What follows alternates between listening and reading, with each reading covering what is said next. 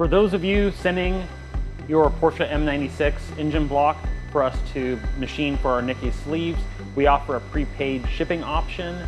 The benefit of doing this that we send you a box that has foam core inserts that are molded to the shape of the engine block and it also provides a divider to separate the two case halves inside the block. We also include with that a prepaid shipping label so that all you have to do is close the box up and put the label on it and give it to UPS and they'll bring it back to us. We also put in there the required labels that UPS needs. We also put in there instructions on what you need to do as far as what parts you need to remove off your block, uh, what to do, what not to do. Uh, one real big thing we see people do I, is put their intermediate shaft in between the two case halves or stick it in the box. Uh, somehow, by modifying the foam, don't do that. Uh, it is recommended that you ship the intermediate shaft separately or any other components. Only thing that's supposed to go inside the prepaid shipping block box is the two case halves.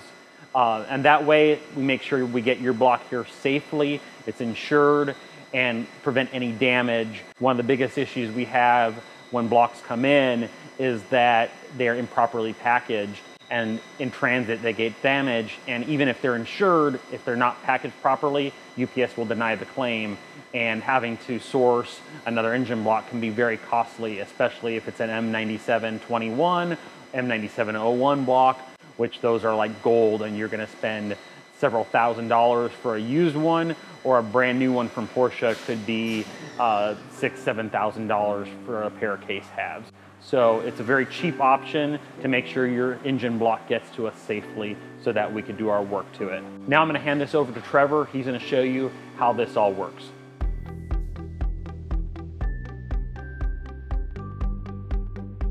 So when you pay for the prepaid service to send your engine or case half to us, you will receive the block box, two foams, one divider, packet of stickers. When you receive your block box, you will open it, you will pull out the supplied divider, packet for shipping, instructions, and the first top foam. You do not need to remove the bottom foam and now, once you have come to this point, you can now grab one of your case halves, install one half into the box. Now apply your divider, grab your other case half, line up the best you can, and mate it to this piece of foam.